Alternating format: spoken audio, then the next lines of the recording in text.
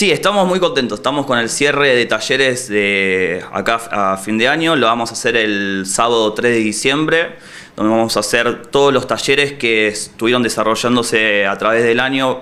Van a venir acá al centro de Moreno. Vamos a estar, va a estar el escenario principal en la, enfrente a la iglesia.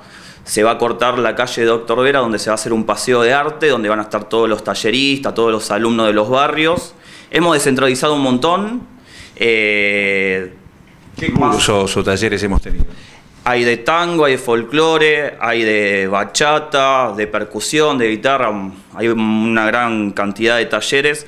Hay 154 talleres en todo Moreno, a diferencia del año pasado, que había solamente 80. La matrícula de alumnos eh, se duplicó de, eh, de 2.000 a 4.500 alumnos en todo el distrito, ya que hemos descentralizado un montón, los pibes de los barrios ya acceden más fácil a los talleres, así que siempre, como dice nuestro intendente, apostamos una gestión militante y siempre apostando a la cultura popular de Moreno. ¿Cómo se manejaron presupuestariamente para llevar adelante los talleres, los programas descentralizados?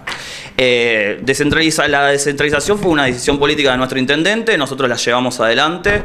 Tenemos acá en la Dirección de Políticas Culturales, eh, tenemos la parte de descentralización de los compañeros, estuvieron hablando con las instituciones, con los clubes de barrio, con la sociedad de fomento. Hemos visitado la gran parte de los barrios de, Moreno articulando, más allá de los talleres, también tenemos actividades como con el escenario móvil, el cine itinerante, eh, donde además de los talleres también acompañamos a las movidas culturales, ya a las comunidades paraguayas, a las comunidades bolivianas, o sea, siempre detectando a los artistas locales, acompañándolos y llevando para adelante para que los vecinos sean protagonistas y no sean espectadores, que cultura solamente va y brinda un show, sino los hacemos y los involucramos a las actividades para llevarlas adelante. Amplíame la actividad del próximo sábado de cierre de año. Eh, le estamos organizando, la verdad que estamos muy contentos porque van a venir todos los compañeros de los barrios, van a venir todos los vecinos, van a venir los alumnos, van a venir los talleres, va a haber menciones especiales.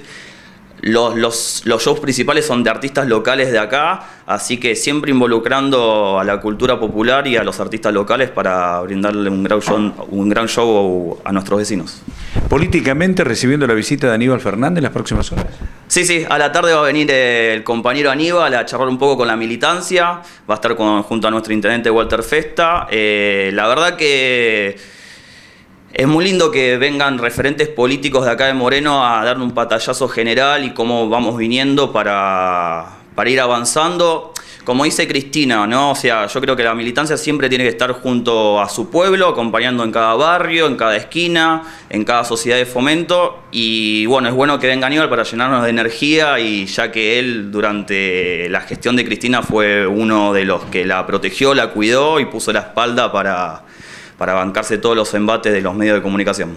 Gonzalo, ¿cómo este, programan el año que viene? Ya estamos, estamos ya desde... se está armando el presupuesto, por ejemplo. Se está armando el presupuesto, de verdad. Ya estamos programando los talleres de verano. Seguramente vamos a articular con deporte, vamos a estar presentes en las colonias, siempre con la misma función. Tratando de llegar al último vecino de Moreno, al último barrio y que el Estado esté presente en todos los barrios, en todo nuestro distrito.